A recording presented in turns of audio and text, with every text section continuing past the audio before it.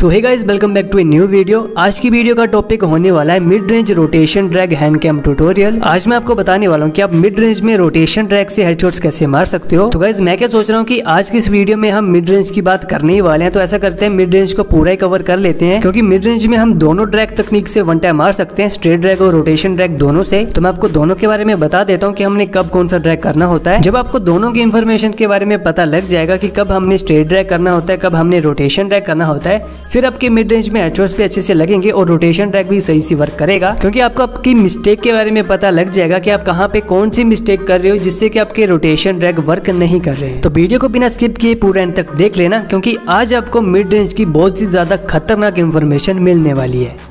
तो okay guys सबसे पहले मैं आपको ये क्लियर कर देता हूँ कि मिड रेंज में हम दोनों एम प्लेसमेंट से वन टाइम मार सकते हैं मतलब कि रेड एम से भी और वाइट एम से भी। और दूसरी बात कि हम रेड एम से स्ट्रेट ड्रैग से वन टाइम हेडशॉट मार सकते हैं और रोटेशन ड्रैग से ही मार सकते हैं और हम वाइट एम से भी रोटेशन ड्रैग स्ट्रेट ड्रैग दोनों से वन टाइम हेडशॉट मार सकते हैं। तो आपको ये तो क्लियर हो गया कि हम किसी भी एम प्लेसमेंट से हर ड्रैग तकनीक का यूज़ करके वन टाइम हेडशॉट्स मार सकते हैं। तो अभी हम बात करते हैं कि हमने रेड एम से स्ट्रेट ड्रैग किन किन सिचुएशन में करना है। मतलब की हम रेड एम रख के स्ट्रेट ड्रैग से वन टाइम हेडशॉट्स कब कब लगा सकते हैं। तो रेड एम से अपने वन टाइम मारने का ट्राई तभी करना है जब आपका एनमी कोई भी मूवमेंट ना कर रहा हो मतलब कि वो स्ट्रेट खड़ा हो। जैसे कि आपका एनमी किसी कवर के पीछे खड़ा है और उसने आपको नहीं देखा है तो वहाँ पे आप उसके ऊपर एम सेट करो और आपको स्ट्रेट रैक से वन टाइम मिल जाएगा। या फिर आपका एनमी कहीं पे खड़ा होकर मेडी यूज़ कर रहा है तो तब भी आप उसके ऊपर एम को रेड करके स्ट्रेट ड्रैग से वन टाइप हेडशॉट लगा सकते हो। और जब आपका एनमी आपके ऊपर फायर कर रहा होता है, तब भी उसका करेक्टर बिल्कुल सीधा खड़ा होता है तो ऐसी सिचुएशन में भी आप स्ट्रेट ड्रैग से इजिली वन टाइप हेडशॉट मार सकते हो। जैसा कि यहाँ पे देखो कि मेरा एनमी मेरे ऊपर लगातार फायरिंग कर रहा है, एक ही जगह पे खड़ा होके, और मैंने सिंपल सा स्ट्रेट ड्रैग किया और इसे वन टैप हेडशॉट लग गया। तो ओके गाइज़ अभी हम बात करते हैं कि हमने व्हाइट एम से स्ट्रेट ड्रैग कब करना है। मूवमेंट में खेलते टाइम जब हमारा एम एनमी के पैरों के नीचे आ जाएगा, तब हमने करना है यहाँ पे स्ट्रेट ड्रैग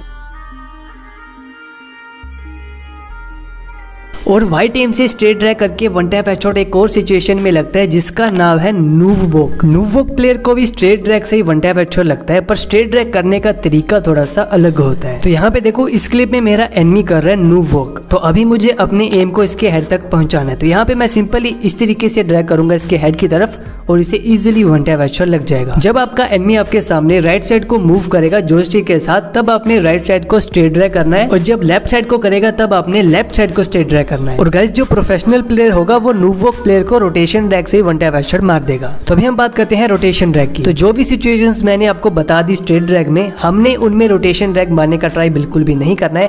खास करके तब जब हमारा एनमी कोई भी मूवमेंट नहीं कर रहा होगा। और मैंने आपको कहा कि हम रेड एम से भी रोटेशन ड्रैग कर सकते हैं और वाइट एम से तो कर ही सकते हैं, पर हमने स्टार्टिंग में रेड एम से रोटेशन ड्रैग मारने का ट्राई नहीं करना है। ये मैंने आपको बस इन्फॉर्मेशन के लिए बताया कि हम मिड रेंज में रोटेशन ड्रैग रेड एम से भी कर सकते हैं। क्योंकि जब हम प्रोफेशनल प्लेयर बन जाएँगे, तब हम रोटेशन ड्रैग से ही वन टाइम मारेंगे। क्योंकि मैंने आपको पहले ही बताया कि जो प्रोफेशनल प्लेयर होता है, जहाँ पे स्ट्रेट ड्रैग से वन टाइम एक्चुअल लगना हो, वहाँ पे वो रोटेशन ड्रैग से भी लगा देता है। तो क्या अभी हम बात करते हैं कि हमने मिड रेंज में रोटेशन ड्रैग कैसे करना है। पर पहले मैं आपको ये बता देता हूँ कि जब भी हम रोटेशन ड्रैग करते हैं तो हमारा एम एनमी की बॉडी के ऊपर क्यों लॉक होता है, इसका सिंपल सा रीजन है कि हम सही से ड्रैग नहीं करते हैं। अगर हम कम ड्रैग करेंगे तो हमारा एम बॉडी के ऊपर लॉक होगा और अगर हम हद से ज़्यादा ड्रैग करेंगे और सही से ड्रैग नहीं करेंगे तो हमारी गन रिकॉइल करेगी। पहले आप हैंड कैम में देखो कि मैं क्या कर रहा हूँ।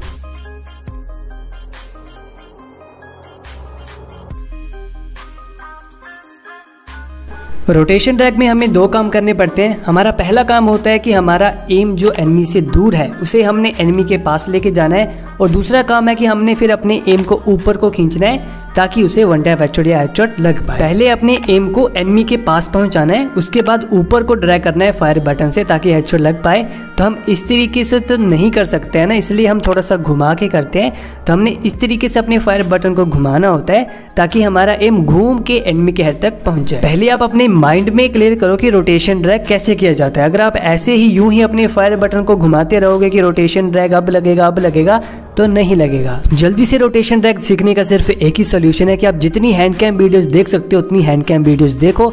सेकंड चैन पे मैंने भी हैंड कैम वीडियोस अपलोड कर रखी है और ज़्यादातर क्लिप्स मेरी क्लोज रेंज और मिड रेंज की होंगी और सभी में मैंने रोटेशन ड्रैग ही किया होगा। जब आपको ये अच्छे से पता लग जाएगा कि हमने किस तरीके से अपने फायर बटन को घुमाना होता है, उसके बाद आप इजिली वन टैप हेडशॉट मारना सीख जाओगे। सेकंड चैन का लिंक आपको डिस्क्रिप्शन में मिल जाएगा, वहाँ पे जाके हैंड कैम वीडियोस देख सकते हो। और इस टॉपिक पे मैं और भी वीडियोस बनाने वाला हूँ तो चैनल को सब्सक्राइब करके नोटिफिकेशन बेल को ऑल पे सेट कर लेना। तो बाय बाय गाइज़ हम मिलते हैं आपसे नेक्स्ट वीडियो में।